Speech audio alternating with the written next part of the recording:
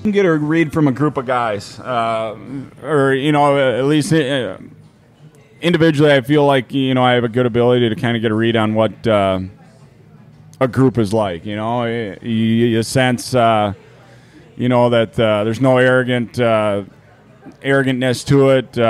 It's kind of an underdog type feel at Duluth when when I was on my recruiting visit, which is now it's turned obviously with what it, you know, and um, it was a bunch of guys that. Uh, you know they they they don't get the top recruits there. You know they get players that had to work their butts off and uh, to get where they are. There were some older Western Canadian kids that come in there, and um, it was just a good mix. And I just loved the feel of it, and I just felt really comfortable. And to make a decision after a single visit, it was. Uh, you know, looking now, I remember telling my mom, she's like, "Really, Duluth? You're gonna go? You can go anywhere warmer?"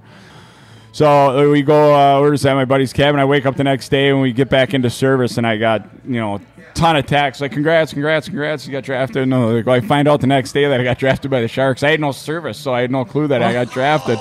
and uh, we wake up the next day and I'm with all my buddies up there, so we had uh, we had some fun with it. But uh, it was cool. So warm weather. Was your mom happy?